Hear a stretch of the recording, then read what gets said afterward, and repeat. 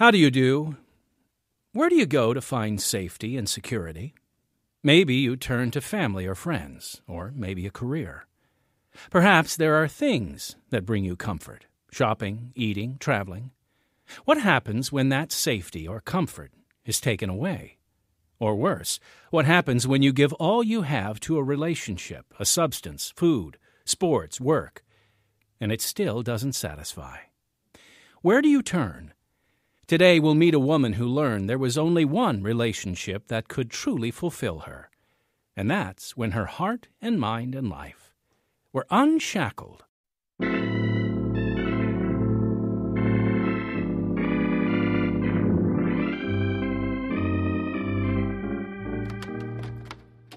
Kids, hide this right now. Hide it where? Dad, How much is it? This is the most money I've ever seen. Where you gonna? Yeah? Where'd your father go? Um, I don't know, officer. You girls are coming with me. This is Unshackled, true life stories dramatized and produced in Chicago by Pacific Garden Mission. While the city of Chicago still faces issues of violence and unrest, it's also home to Pacific Garden Mission. We are the oldest continuously operating rescue mission in the country. We have been in the city since 1877 to serve the under resourced in our city. And every day, hundreds of men, women, and children of all ages and backgrounds seek help. We are grateful for friends like you who send financial gifts to keep the doors open. Through your gifts, God provides nourishing meals, fresh clothing, and a safe place to sleep for those in desperate need. And above all, He provides the love that can set us free. And that's what this program celebrates.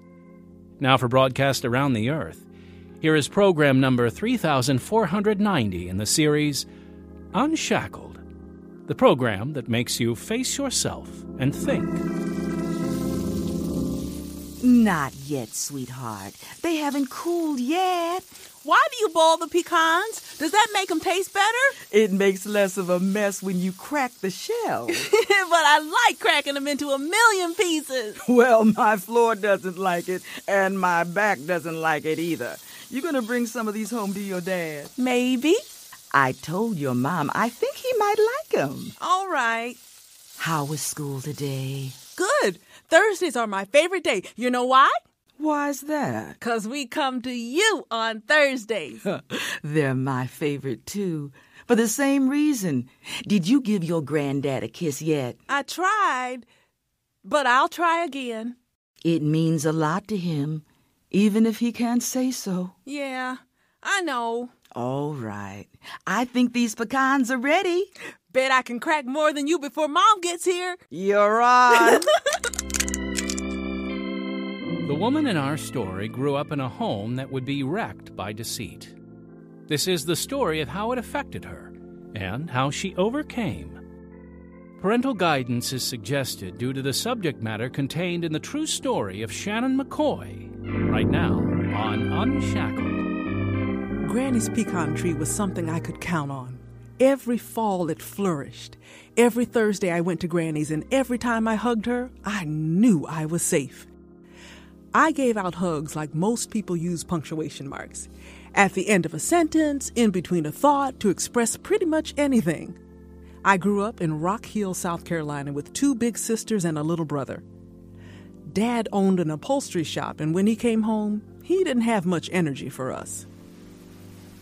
Dad, do you know my friend Carol? Now, why is the TV doing that again? I don't know. Uh, I was going to do cheerleading in high school, but Carol said that the cheerleaders stopped being friends with their other friends once they start. Grab me some tea, will you? yeah, Yeah, Carol's a nice girl. but I'm saying Carol says the cheerleaders are sort of their own group, and I'm not sure if I join or if I was Will one. you unplug that cord in the corner? Just was wondering if you had any advice about if you think I should try out. You'll be great at whatever you do. Now, plug it back in. Go. All right. Quiet now. The game's back on. It felt like I couldn't talk to my dad about anything real. He wasn't around much, and when he was home, he just wanted us to serve him. I had trouble connecting with any of the men in my life. My granddad was unresponsive due to the pain from his diabetes, and my uncle was kind, but an alcoholic. I only got affection from the women in my life, but I wouldn't stop trying to get it from men. Mom? Will you help me set the table? Yeah, we're uh, short a few dishes. Yes, well, I, I can share with Jasmine. thank you. Did Dad? Look, he just got a little heated last night, but we're fine. I should know by now to hide the dishes whenever I want to have a real conversation with him. This looks good. Granny's recipe. Now, did you want to talk about something, sweetheart? Remember how you told us when we're ready for. when we were ready to. you know, with a guy, we should. Can I go on birth control? Well, now I almost dropped another dish. I didn't think you want to until you were. I'm 15. Exactly. I don't understand. You told me to tell you when I'm ready, and I'm ready. I'm just trying to be safe. It's not about that, honey. Men are not always. Pills aren't enough to keep you safe. But mom's warnings and my parents' failing marriage weren't enough to keep me away from guys. One in particular, a football player. I was a cheerleader. I loved the feeling of his hand in mine, his arm around me, going places with him. I craved affection and security so badly, I could not see the problems with the way he treated me. Oh, uh, hey, Jazz. I didn't know anyone was home. Okay, excuse me while I throw up. Is that how y'all say goodbye every day? Don't be jealous. Jealous? I want no part of you and Freddie's relationship. No, thank you. I prefer to continue on with the rest of my life and my friendships. What do you mean? When was the last time you saw Eliza? I've been busy with cheer. How about Abby? Jasmine, I've been busy with. With Freddie. I know y'all get out of the car holding hands. That's not possible. I've seen you do it. Freddie likes being together. What's wrong with that? I don't like the way he talks to you. Why did he call me last night? Uh, He just wanted to make sure I was at the mall. Did you tell him that's where you were going? Yeah, he just wanted to make sure. He doesn't let you speak. I hear the way he talks to you. Well, I'm fine with the way things are, and that's that's what matters. I see now how possessive Freddie was, but I still excelled in high school. I ran track and won MVP of my team. I got good grades. The idea of not having sex before marriage was not given credence in my home, and I went about giving myself to my boyfriend who made me feel special. In the background of my immature relationships, my parents' marriage was crumbling. One day, we were forced to face the reality of just how bad things had become. Kids, hide this. Right now. Hide it where? Dad! How much is it? This is the most money I've ever seen. Where are you gonna? Yeah? Where'd he go? Um, I don't know, officer. Outside! Check the yard! You girls are coming with me. Wait, ma'am, I'm sorry, but we didn't. We didn't do anything. Follow me. We'll take you down to the station. Your dad's headed there too. Why didn't you just hide the money, Shannon? My mom would have to pay taxes on the drug money I didn't hide. I still feel guilty for letting them down in that moment. And so it turned out my dad was selling drugs. I had had my suspicions with some of his shady behavior, but his arrest brought a new level of pain and humiliation to my family. Around this time, we also learned that my dad was committing adultery. The fights between my parents got scarier and more physical. I didn't understand. My mom had always taken such good care of him. Girls, I- I have to tell you that I. It's all right, dear. It's okay, Mom. We love you. I'm so sorry. It's okay. Your dad is a dad to some other kids, too. I know that. I didn't know that. Don't talk with your mouth full. Shannon, you're eating all my pecans. Sorry, Granny. Have as many as you want. So your father and I are obviously not not not doing well. Mom, you have stitches on your forehead. It's not Is that from him? I Yes, it is. Are you going to leave him, Mommy? I know I'll have to eventually. Why not now? You're all still in school. So and- what? But what I want to tell you is that I'm going to college. You are? I'm going to learn to become a surgical technician so I can, you know, support myself when the time comes. Can't come soon enough. What's a surgical technician? Wow, Mom, I'm really proud of you. So then, what about us? We'll learn what happened to Shannon and her family in just a moment. Here's the president of Pacific Garden Mission, Phil Kwiatkowski. Thanks, Timothy. I'd like to take a moment to update you on the transformational work that is happening at Pacific Garden Mission as a result of the generosity of donors like you. Our home is a state of the art, 150,000 square foot building designed by Chicago architect Stanley Tigerman. It is the first green rescue mission in America. Unique features include 100 solar panels to save on energy costs, and we also have energy efficient heating and cooling. There are greenhouses to grow plants and supply interior and exterior gardens, as well as a landscaped inner courtyard allowing fresh air away from the streets. The men, women, and children served here live on three bright and spacious floors. We have capacity to sleep 750 men, 200 women and children, and serve them in a 600 person dining area. There are two libraries with computers and transient guest ministry day rooms for men and women. Here are some comments from those who have been impacted at the mission. James says, Before coming to the Pacific Garden Mission, I was very much a postmodern man. I was distrustful of any grand ideology, and I fully embraced the idea that there was no moral absolutes. Eventually, I realized that if I continued that way, I would die. Four states, three jobs, two engagements, and some years later, I found myself sleeping in a Chicago doorway on a stormy night. The next morning, I chased rumors and made my way to Pacific Garden Mission. The mission saved my life. Or should I say, the mission provided a safe haven, and Jesus Christ saved my life. So I decided to join the men's Bible program. I was broken down, but here I began the rebuilding process. With good, godly counsel and sound biblical lessons from PGM staff, I finished a year of very necessary spiritual refining. Now, I pray every day to become finer, and I now know I can through the saving grace of Jesus Christ and the guidance of the Holy Spirit. Thanks, Jim. And Hope writes Before I came to the mission, I was a mess. I came from abandonment. I came from abusive relationships. That was all I had known from a very young age. I turned to the streets. I turned to other people that were like me, who had been thrown away and that nobody else cared about. This lifestyle rolled on through my late teens and early adult years, and eventually I was living in abandoned buildings, which lasted 13 years. What started out as something fun grew into something very dark. My addictions also led me to doing a lot of stealing. I came to the mission to lay low after stealing something. I joined the Bible program.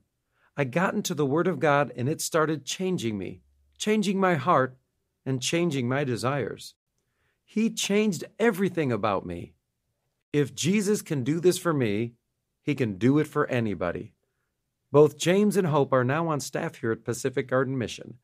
We celebrate all the work God is doing in the hearts of those who serve and are served at Pacific Garden Mission. Our budget is completely donor funded, and we invite you to partner with us serving thousands of homeless men, women, and children this year. For more information about what you can do to help, write to us at Pacific Garden Mission, 1458 South Canal Street, Chicago, Illinois 60607. That's Pacific Garden Mission, 1458 South Canal Street, Chicago, Illinois 60607. Our email address is unshackled at pgm.org. My mom eventually left my dad. I think she waited until I was in college. I was left without a place to stay. My dad was living with another woman and his other kids, and he didn't want me there any more than I wanted to be there. But I enjoyed college life. It gave me a reason to break up with my possessive boyfriend and start dating someone new. And the people there were nice. I started going to church with a new friend. Hey, Susan, I'm almost ready. Just finishing up stuff for Kim. You're doing your homework? We have a quiz tomorrow? It's Sunday. Well, yeah, but. You can't do homework on the Sabbath. I mean, I'd definitely rather not be, but. Well, don't tell anyone about this at the meeting. Okay, I won't. Sorry. Is it cool if we swing by the library to pick up Adam? He wanted to come to church too. Your boyfriend? Yeah. I don't know if you should bring him. I think he'd like it. It's my family, and. I, I thought I was in the family too. You're close, and I want you to be, but I don't think you can keep seeing Adam. Wait, what? Shannon, I'm trying to help you. I just don't think. I feel like you're choosing Adam over God. Something wasn't right with Susan and her church. Eventually, I came to find out it was a cult, and I got out. It's a red flag when faith becomes all about what you can and cannot do. Truly, by the deeds of the law, there shall no flesh be justified in his sight. I think God used that experience to start to convict me about surrendering my whole heart to Him. Not long after, another friend invited me to her church. I was cautious, but still eager to know God. What was that? what do you mean? I have never been to a church service like that before. Like what? That pastor was so funny, and the way he talked about sin, it was like really, just really convicting. Yeah. He didn't make it all about how guilty and sinful we are. He made me excited about how I could grow in God. He's good at that. Also, can we talk about the brothers who legit had their hands up and were singing? Got your eye on someone? No, I just, I, I've never seen black men worship like that. I mean, wow. That one guy was crying. Did you see? The guy in the front? Yeah. Oh, I can't wait to go back and reread. Oh my goodness, did you write down everything he said? I'm a science major. I know how to take notes. You're hilarious. But I'm really glad you were into it. Thanks for taking me, Marie. I hadn't had many examples of people in authentic relationship with God. I wanted it so badly. I was hooked. I started to become convicted about modesty. I stopped wearing miniskirts to church. I felt God calling me to stop having sex until I had found the person I would commit to forever and marry. I told Adam what I was learning and experiencing, and that I didn't want to sleep together anymore. That was a deal breaker for him. But I had a newfound hope in a father who would never leave me. And I did as the pastor said Repent ye therefore, and be converted, that your sins may be blotted out. Hi, God. I want a relationship with you. I want what Marie has and Pastor Paul. I want to know you the way the people at church know you. I want my body to be a home for you, and I want to honor you with it. Please forgive me for my sin. Please make me new. In Jesus' name. Jesus was becoming real to me, and it was reflecting in every aspect of my life. Our church had a 14 day consecration service. I committed my life to ministry. I felt God calling me to minister to women alongside a future husband who was also in ministry. Now, I just had to find the husband. One month later, a classmate introduced me to John. And so then I finished Bible college this past spring. And what's next? A seminary, I hope. I I just I don't know. I, I want to be like the great preachers and thinkers I've been reading. Like who? Jonathan Edwards. Do you know him? No. The Nature of True Virtue. Oh, hang on, let me write this down. I still have my textbooks from college. I can lend them to you. I sometimes listen to preachers on the radio. Preaching? On the radio? It's a Christian station. What? 94.8. I didn't know that was a thing. This guy seemed like the real deal. A man who loved talking about God and was serious about ministry. When he came to meet my family, my mom asked me if I was sure. After all, we had only dated for two months when we got married. But with him, I had the safety, security, and affection I had always longed for. Or so I thought. I brought donuts. Oh, goodness. What's the problem? Uh, nothing. I just. We had pancakes for breakfast. Yeah, well, I wanted donuts.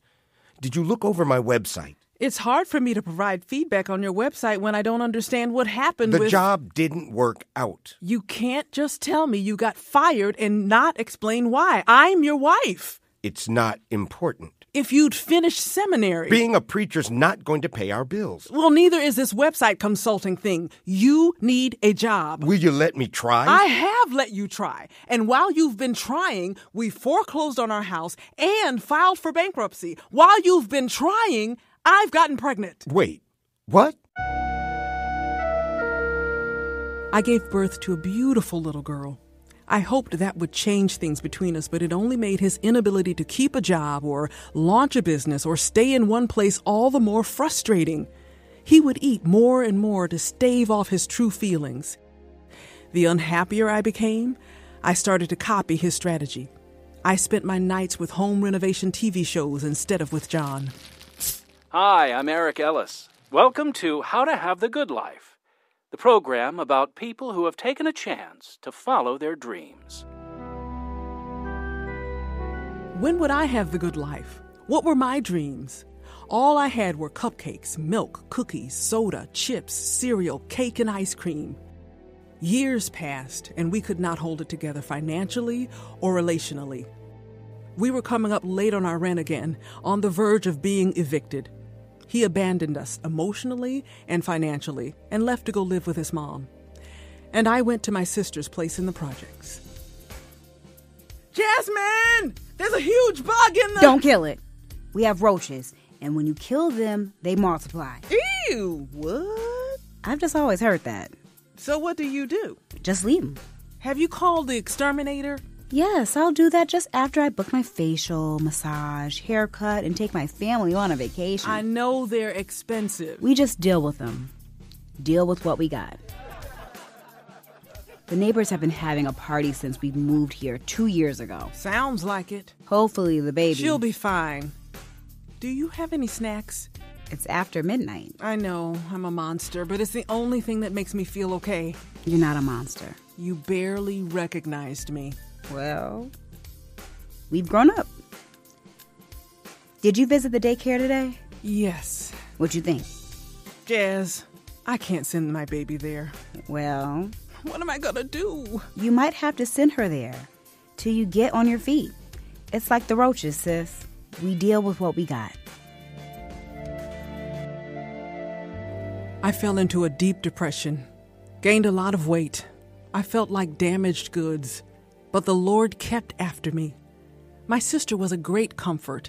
Another friend talked with and encouraged me every Sunday for two years, and church friends prayed for me and visited my daughter. I met with a pastor, studied scripture, and believed, without going into details, I had grounds for divorce. I found peace through the passage, but if the unbelieving depart, let him depart. A brother or a sister is not under bondage in such cases, but God hath called us to peace. A friend took my daughter to the mall so I could complete my divorce papers. I want to live, God. I want to see myself the way you see me, the way I see my daughter. I want to encourage her to grow up strong in who you made her to be. I want, oh, Father, I just want you. Thank you for never leaving me. Please help me to begin again.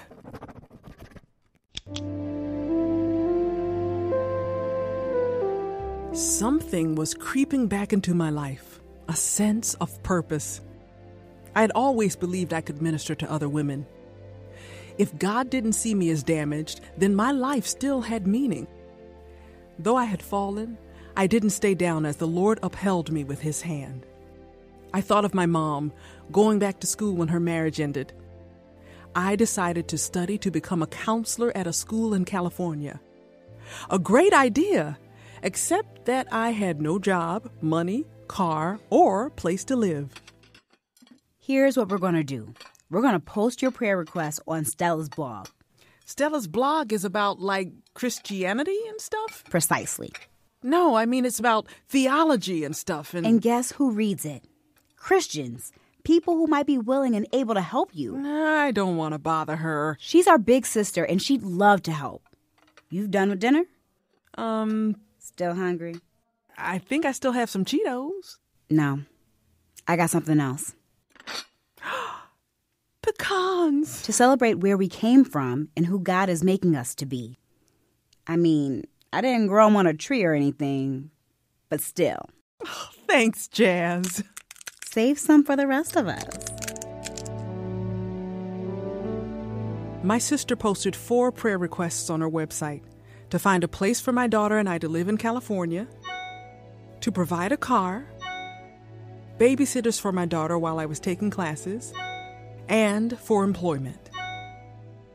Through her readership, all of those prayers were answered. We made the move, and I attended college for a degree in biblical counseling. I learned there was a name for my issue with overeating, and I ended up writing my thesis on it Overcoming Gluttony. I now work as a counselor in my church, a speaker, and writer. I am still a single mom, and I still wrestle with my desire for finding security and affection in others. But now, instead of numbing my emotions with food, I am learning to be content in Christ. I am learning that He alone can truly satisfy. Romans 13, verse 14 tells us, But put ye on the Lord Jesus Christ, and make not provision for the flesh to fulfill the lusts thereof. May we all look to put on the Spirit of our Heavenly Father when we are tempted to make gods of earthly things. If you need help in making the decision to choose Christ, get in touch with Pacific Garden Mission, 1458 South Canal Street, Chicago, Illinois 60607. The telephone number in Chicago 312 492 9410. Our email address is unshackled at pgm.org. Visit our website to learn more about this ministry, unshackled.org.